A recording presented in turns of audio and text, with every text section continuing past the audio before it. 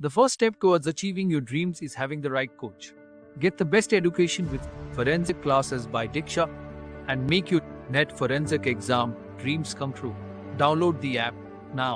Hello everyone welcome to our YouTube channel and आज की class में हम पढ़ रहे हैं फोरेंसिक साइकेट्री इन फोरेंसिक साइकेट्री में हम पढ़ेंगे insanity so before starting today's class a quick reminder अगर आप सभी यूजीसी नेट की प्रिपरेशन कर रहे हैं दिसंबर 2022 साइकिल के लिए in the subject of criminology and in the subject of forensic science, we have special classes for you all in our official application. Application की लिंक आपको डिस्क्रिप्शन में मिल जाएगी, वहाँ से आप एप्लीकेशन डाउनलोड कर सकते हैं एंड ज्वाइन कर सकते हैं classes for criminology and for forensic science सारा कुछ अवेलेबल वहाँ पे होने वाला है। Video lecture PDF study material mock test previous year का question paper discussion everything will be there in the course you are going to give your NET examination in September in forensic science, जो कि कौन सा मर्थ cycle है? दिसंबर 21 and June 2022 का मर्ज cycle है, जो कि सितंबर में होने वाला है तो आप रिवीजन क्लासेस ज्वाइन कर सकते हैं। रिवीजन क्लासेस में आप क्विकली रिवाइज कर सकते हैं मॉक टेस्ट दे सकते हैं यूनिट मॉक टेस्ट आप अटेम्प्ट कर सकते हैं एंड कंप्लीट मॉक टेस्ट आप अटेम्प्ट कर सकते हैं। एंड बिल्कुल परफेक्ट फिनिश हो जाएगी आपकी प्रिपरेशन और आप एग्ज़ाम ज़रूर क्लियर करेंगे। वो सारे के सारे बच्चे जो सेमेस्टर्स में हैं अभी, आप सेमेस्टर क्लासेस ज्वाइन कर सकते हैं। आपका सारा का सारा सिलेबस कवर किया जाएगा, सारा का सारा सेमेस्टर सिलेबस कवर किया जाएगा। एंड हम आपको सैंपल पेपर्स भी देंगे जिस इंटरनल्स में बहुत अच्छे मार्क्स स्कोर कर सकते हैं एंड ऑफकोर्स सेमेस्टर में भी बहुत अच्छे मार्क्स स्कोर कर सकते हैं So let's start today's class. So it's about insanity. So let's start with introduction. So introduction में हम हमेशा definition पढ़ते हैं उस concept को समझने की कोशिश करते हैं तो what is insanity? So the term insanity is really very old. So it's an old term which is used loosely to denote any mental disorder. हम इंसेनिटी वर्ड कब यूज़ करते हैं? अगर किसी भी पर्सन को कोई मेंटल डिसऑर्डर है है ना? अब हम इंसेनिटी वर्ड यूज़ नहीं करते, है ना? ये एक तरीके का अब हम इंसेनिटी वर्ड यूज़ नहीं करते। It's kind of disrespecting someone है ना? तो इस वजह से हम इंसेनिटी वर्ड यूज़ नहीं करते या इंसेन वर्ड यूज़ नहीं करते but still it is an old term तो हम उसे पढ़ ज़रूर लेते हैं।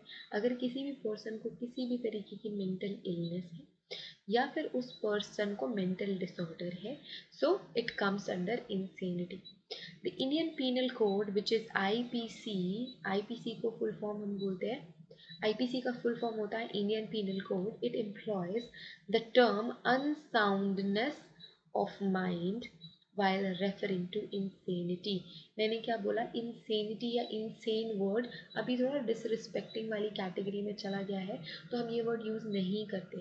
अगर कोई भी पर्सन मेंटली इल है, या कोई भी पर्सन मेंटल डिसऑर्डर की वजह से प्रॉपर मेंटल कंडीशन में नहीं है तो हम उसके लिए क्या टर्म यूज़ करते हैं? अनसाउंडनेस ऑफ़ माइंड ठीक है?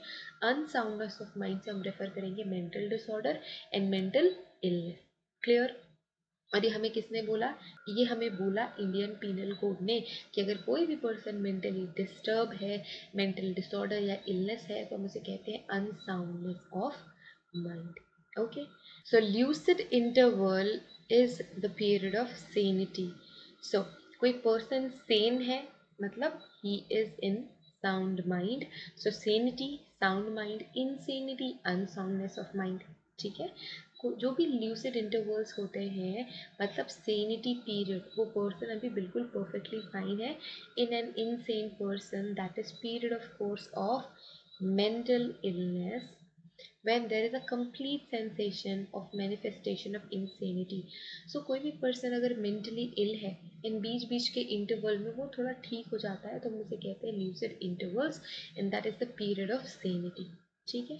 During this period that person is quite normal जब ल्यूसिड इंटरवल्स आ रहे होते हैं तो वो पर्सन बहुत ही ज़्यादा ना वो पर्सन बहुत ही ज़्यादा नॉर्मल होता है and can make valid will and sell और purchase property it can give valid evidence ये सारी चीज़ें एक वैलिड एविडेंस देती है that that person is responsible for his deed patient is kept under observation for 10 days, which that person can be extended up to minimum 30 days.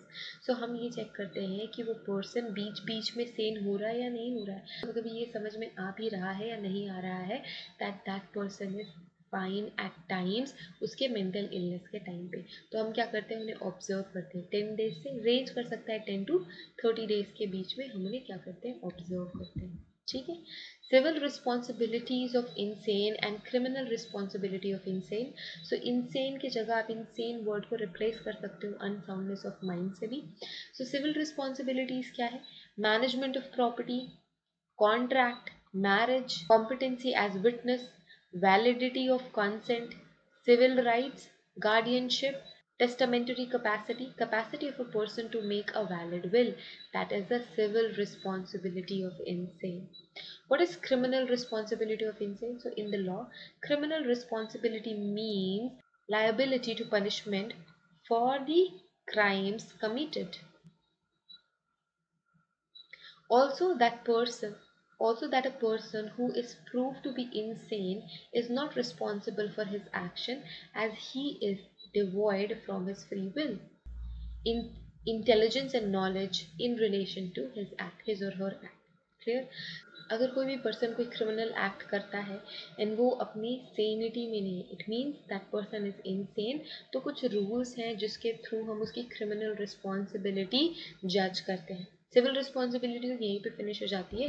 Criminal responsibility हम जज करते हैं मैगनॉटन्स रूल के थ्रू इसके बाद आता है डॉक्टराइन ऑफ़ पार्शियल रिस्पॉन्सिबिलिटी फिर आता है डारहुन रूल एंड देन फिर आता है करंस रूल ये कुछ ऐसे रूल्स हैं जिसके थ्रू हम किसी भी पेशेंट या किसी भी पर्सन की किसी भी पर्सन की क्रिमिनल रिस्पॉन्सिबिलिटी जज करते हैं। So it states that an accused person who is not legally responsible if it is clearly proved that the person at the time of committing the crime person was suffering from such a defect of the reasons of abnormality of the mind that he did not know the nature and quality of act he was doing. Or that what he was doing was wrong. A person is not responsible for his or her act because of its unsoundness of mind. And it comes and it comes under section 84 of IPC.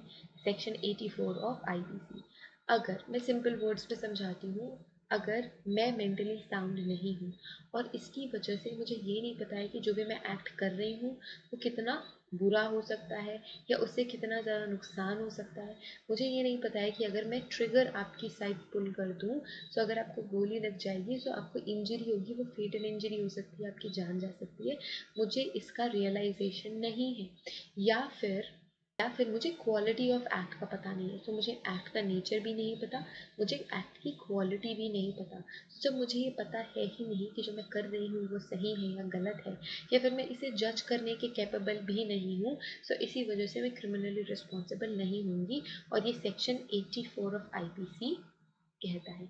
And ये हम पता करते हैं मैगनॉटन्स rule में this is a legal test it is also known as legal test right test और wrong test then we have doctrine of partial responsibility so suffering from some weakness ki completely insane नहीं है that person is not completely insane अगर कोई भी person किसी भी kind की weakness से या mind के aberration से जूझ रहा है तो that person is not completely insane okay then we have darwin's rule accused is not responsible for the act if, if his act is resulted from mental disease or defect अगर mental disease या defect की वजह से कोई particular act emerge हुआ है तो वो person responsible नहीं है current rule क्या कहता है a person is not responsible if at time time of committing the crime he did not have not have to the regulate his conduct according to the requirements of law as a result of its mental disease and defect अगर कोई mental disease है defect है and वो law को regulate नहीं कर सकता है बिकॉज़ ऑफ़ दैट सिचुएशन